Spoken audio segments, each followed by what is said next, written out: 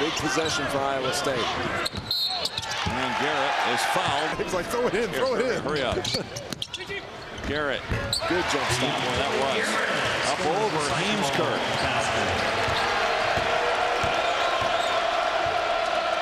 A little more breathing room and the crowd in it here at Hilton.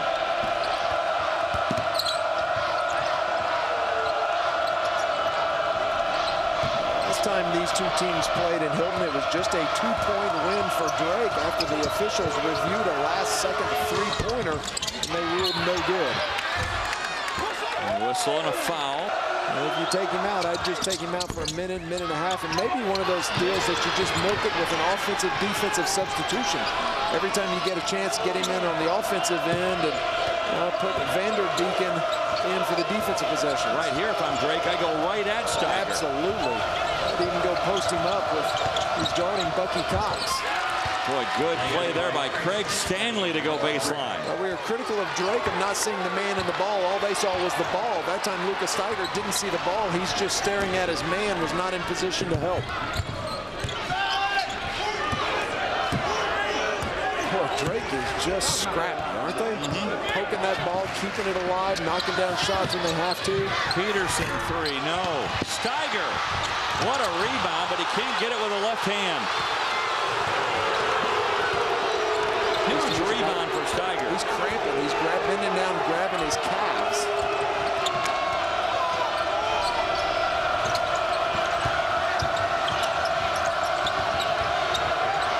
Could be attributed to somewhat of that knee injury.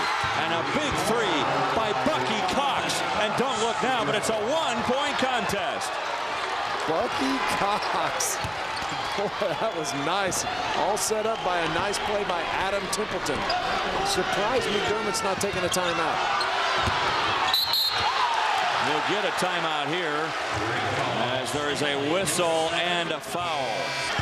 That their 16 foul. Iowa State will be in the bonus next. All the way out to Eichmeyer. I'm going to guess that Greg McDermott realizes the next dead ball will be a TV timeout, and he is saving his timeouts. Eichmeyer, no. Vanderbeken going for the rebound, and he's fouled from behind by the line. Goes to the stripe.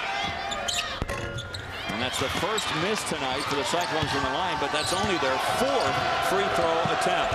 Lucas Staiger, who leads the way with 24 points, sitting on the bench with four fouls right now. And a cramped calf as well.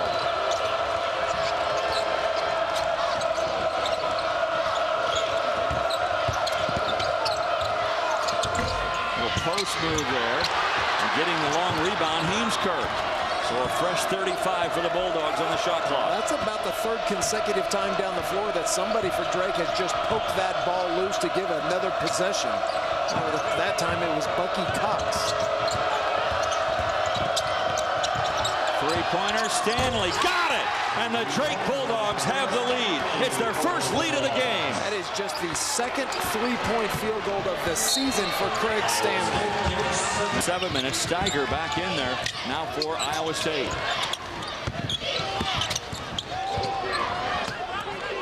Heemskerk and Cox doing a good job inside on Brackins. Garrett tough shot off the glass that won't go. And there's Heemskerk with a rebound. One and done for Where, the Cyclones. Yeah, where's the rebound? Right. That's what I'm thinking. Diante Garrett attacks the gap off the dribble, which is good. He puts a shot up there, and everybody's backpedaling. There wasn't a single Cyclone around that ball, not one. The only guy near it was the guy who took the shot, Garrett. And so far, our two keys for Drake are playing out, and the two keys that Iowa State could not do are, unfortunately for the Cyclones, also playing out. Drake shooting better than 40%, and they're out rebounding Iowa State, and almost two more, but missing a chip shot. Heemskerk should have had that one. Oh, can't miss that one on the road. We said Iowa State needed more free throw attempts. Right now, a 13-point differential from the free throw line, and they needed to keep Drake under 60 points. They have not done that either. But they have out-rebounded the Cyclones 38 to 29, and a timeout. Unbelievably scintillating first hit. Right now, it's Drake with the ball and the lead.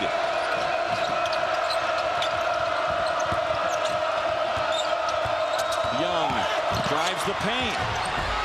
And he misses another layup. That's two missed layups in a row, but Drake able to get it back. Boy, howdy. Two missed layups for Drake, and if you're Greg McDermott, you're saying, would somebody please pick up a loose ball? A 10-point advantage on the glass for the Bulldogs tonight. Now, if you're wondering, Craig Stanley is the most likely player if you need to foul. The rest of the Bulldogs are terrific free throw shooters. Stanley struggles a little bit at 64%. Stanley trying to bounce pass through the paint. Heemskerk, little spin move. Brackins trying to clear it, and it's poked out of bounds. It'll go to the Cyclones. Brackins held to a season-low nine points so far in this game. He does have eight rebounds. And one of the things Iowa State has not done well tonight is get to the free throw line. If I'm Greg McDermott during this timeout, I'm going to... Points for Staiger in the second half. They're 21 in the first. Boy, Brackins was open. Well, he's frustrated. He's not getting the ball, and he's flashing and showing himself, and he's open. Haluska does get it in. Look at the triple team coming, and now Brackins will go to the line. The ball inside the Brackins, and then, oh boy, and then in the game. Two critical free throw misses for the Cyclones, and it's a one-point Drake lead, a timeout taken by Iowa State. They're there. Yeah, six for eight for the year from for Barenbook. But again, that's a senior that's been sitting over on that bench for a long time. Now timeout taken by Phelps. A deal where you're up by three, you want to go ahead and foul early also. First things first, to inbound the ball. They barely get it into Stanley, and they immediately foul him. For Drake. Differential from the free throw line. Missed the second one, so it's a two-point contest.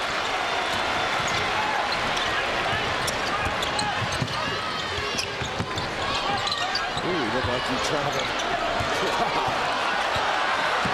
well, I like this. Don't call a timeout just to call a timeout.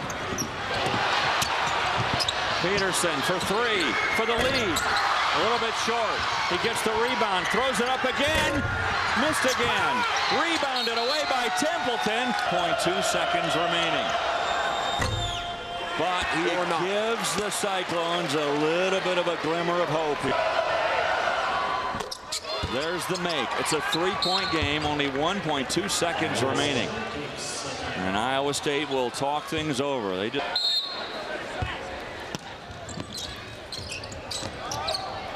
Well, there's Brackins at the top of the key. Knocked away, and Drake will come up with a huge win on the road. They had lost 13 straight at Hilton, but their last two trips here to Ames, Iowa have resulted in a victory. A great comeback for the Bulldogs. A terrific game. Mark Phelps' team did a great job.